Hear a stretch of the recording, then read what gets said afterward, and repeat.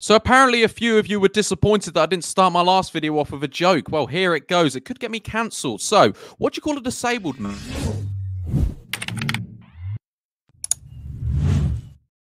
All right, guys, what's going on? My name is Ollie Ward. Welcome back to the Ollie Ward channel. Happy Thursday, and I hope you're ready for the latest Leeds United transfer news. There isn't a lot of news today, but there is some key news. Close signings on the way. Before we get into it, you know the drill. Let's try and smash 400 likes on this video. Get down there right now and smash a little like. You know, I'll be chuffed as nuts. Also, subscribe if you're new as well. 10 of you have to subscribe so we hit 16,300. I'm going to wait.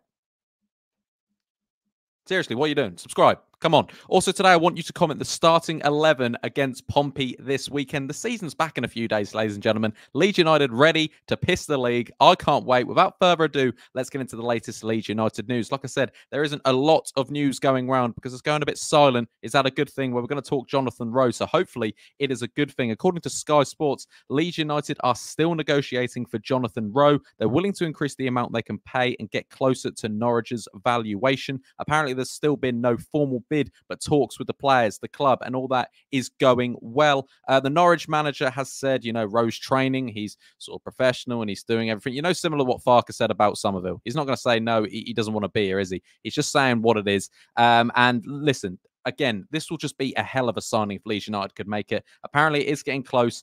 Things are moving, and I could, I doubt it will happen before Saturday. That would be a really quick turnover if that happened. But it looks like Leeds United's key target of Jonathan Rowe if Leeds United can pay the money, will soon to be coming into Leeds United. I can't wait for that. I mean, this signing gets me excited. It's giving me the Jayden Bogle sort of fever. I was excited with that man, and uh, similar to Jonathan Rowe, play him on the wings.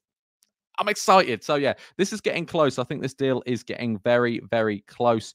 And uh, yeah, we'll be over the moon if this happened. Hopefully, Legion I do not fumble this on. We just pay what they want and get out of there. I don't think it'll be done before Saturday, but I'm telling you, the deal is getting closer. That's the rumors in and around social media, and according to Sky Sports as well. Next up, it's the man we've been talking about for the last month. It's Rak Sakyi. He's not coming to Leeds United. Deal is off. Understand that Crystal Palace will add a callback clause in any deal with uh, Rak-Sakyi's loan. He's going on loan to Sheffield United. Sheffield United will pay more than 1 million in loan fees and they're paying 100% of his wages. That's meaning QPR, Huddersfield, Leeds United, and Burnley amongst them to lose out on the uh, Crystal Palace man. Again, very, very good player, but it's a very hefty price, the loan fee, paying 100% of his wages, and he's also got a recall clause. So if he starts cooking for that club, Palace want him back in a heartbeat. So I'm not saying we dodged a bullet with the bloke. I think he's a very, very talented player. And look, it seems by how much, you know, people want him, he's a talented player. But I think the fuss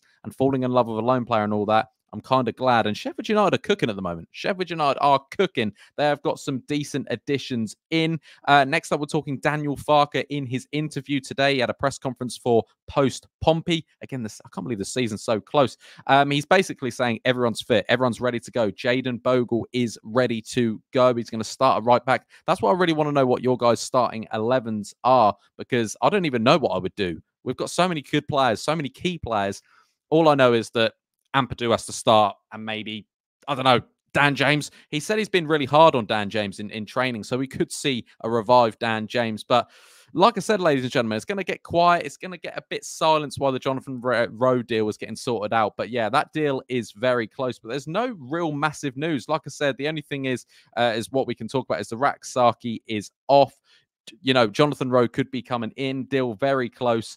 Um, also, there was a little bit on Liam Cooper I touched on, or I didn't touch on. Sorry, I read about how he hasn't found a club yet, and uh, we're just going to see how that one moves because we could see maybe a contract extension, but there's actually nothing been going on between Leeds United and Liam Cooper. It's gone very quiet between our club captain and the 49ers. So it's a bit of an odd one with, with the Liam Cooper. What would you do? Would you just say goodbye now? I mean, he's got no. I mean, Ampadu's the captain it looks like he's going, but no one, no clubs really coming in for him. I, am I'm, I'm kind of confused with the whole Liam Cooper situation. But yeah, sort of the latest news, guys, is just that Jonathan Rowe's close to signing. Rak-Sakyi's out, and the season starts with no new injuries. You know, we're fresh. I'm happy. I'm excited. Ladies and gentlemen, like I said, it's not a long video, but there's not too much I can tell you. There's not too much I can say. If you want me to make some stuff up, I'll do that. But I'm not going to do that for you. But guys, be sure to smash that like button, subscribe if you're new, all that good stuff. And hopefully, I'll be back tomorrow with Jonathan Rowe being announced, maybe. Who knows? I doubt it though. But either way, season starts soon. I'm excited. I might try and get out my final predictions tomorrow. If you guys want to see that, smash 400 likes, subscribe if you're new, and I'll catch you in the next video. Cheery. Don't know what that noise was. Oh.